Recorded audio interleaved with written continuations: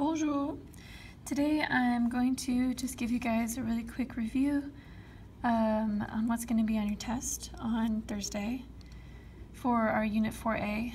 Uh, first of all, vocab, right? Always start with vocab. Um, now, the vocabulaire is activities,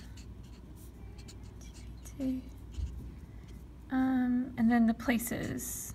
Uh, I'll just write it in English. Okay, places. So um, an example, it's going to be kind of in like a little bit of a paragraph form, so it might look a little intimidating, but it's not. There's going to be um, a word bank for the vocabulary, but based on the sentence, you're going to have to choose which one would make sense. So if the sentence said, je vais blank, um, pour nager, all right, I'm going to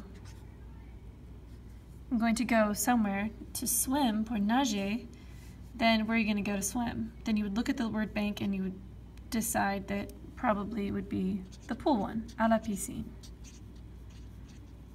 Because that would be the only one that would make sense. All right, so that's the first section. The second section, 5 through 8, um, are again along the same lines. If uh, my sentence said, this evening, ce soir, okay, ce soir je vais, and then the hint here is this evening. So you want to pay attention to um, pay attention to what the sentence is saying. So what would you do in the evening? Would you go to the, the cafe terrace? Probably not. Would you eat at home? Probably not. Um, je vais, I, I go to 7 o'clock in the morning. Doesn't make any sense, right? The only one that would make sense would be the last one, which is a, to the nightclub. So you would say, ce soir, je vais en boîte de nuit. All right, our next section is going to be on, uh, is it cold? No, it's video. It's video first and then we'll do culture. So, a couple of video questions. Um, what we have is Qui Pascal, first of all.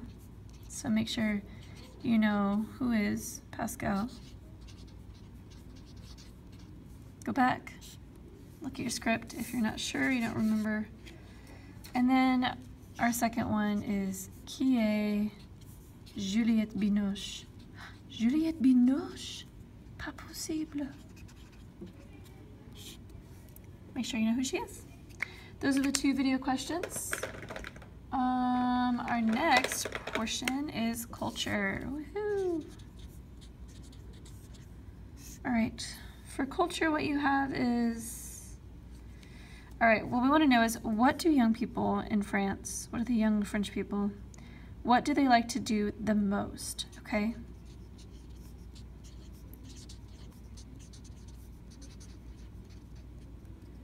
Uh, during the week. Look back at your culture page for that. And the second question is, um, on what is the uh, attraction, the uh, theme park Asterix based on, okay? Um, let me write this in French. Le parc d'attraction Astérix est basé sur... Based on what? Okay. Make sure that you can answer those two questions. All right, I'm gonna flip this over. Our last section is going to be grammar, okay? First of all, you have to be able to conjugate the verb aller. Okay, je vais, je vais, tu vas, il va, elle va, nous allons, vous allez, elles vont.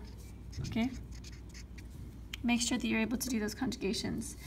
Um, this sentence will have some kind of subject, and you'll just have to fill it in with the correct one, so you have to have this memorized.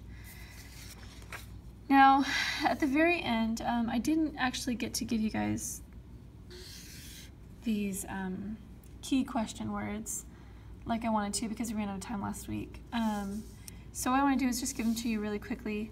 Uh, qui means with who.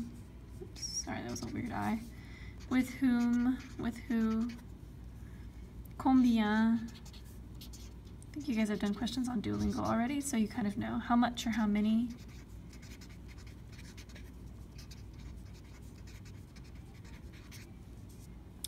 Pourquoi means why.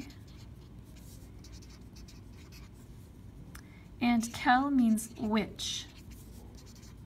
Which one? Quel, okay. So what you'll do is, um, again, you do have a little bit of a word bank here, and you'll decide which one would make more sense to go um, with these four. All right, study hard. Um, bon courage. Au revoir.